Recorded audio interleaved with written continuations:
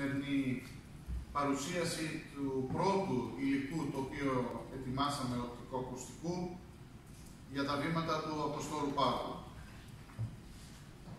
Διότι η διαδρομή του Αποστόλου Παύλου στην Πιερία, το πέρασμά του από την Πιερία, νομίζω είναι ότι υψηλότερο και μεγαλύτερο έχουμε να παρουσιάσουμε, καθώς υπάρχει ένα πανευρωπαϊκό και διεθνές θα έλεγα ενδιαφέρον για τις πορείες και τα βήματα του Αποστόλου Παύλου.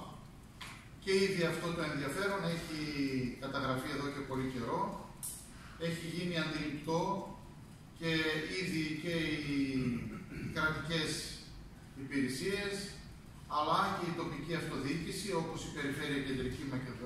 Κεντρικής Μακεδονίας, ε, θέλουν να αξιοποιήσουν αυτό το δεδομένο για την ανάπτυξη του προσκυνηματικού θρησκευτικού τουρισμού. Και μπορώ να πω ότι η Περιφέρεια Κεντρικής Μακεδονίας προηγήθηκε και πρωτοπόρησε σε σχέση ε, με άλλες ε, υπηρεσίες ε, και φορείς και πραγματικά καρπός αυτής της συνεργασίας είναι η παρουσίαση του συγκεκριμένου οπτικοακουστικού υλικού. Το οποίο βεβαίως δεν είναι το μοναδικό, αλλά θα ακολουθήσουν και άλλα και θεματικά, σε θεματικό επίπεδο, αλλά και ιστορικά. Ιδιαίτερα φέτος που εορτάζουμε και τα 200 χρόνια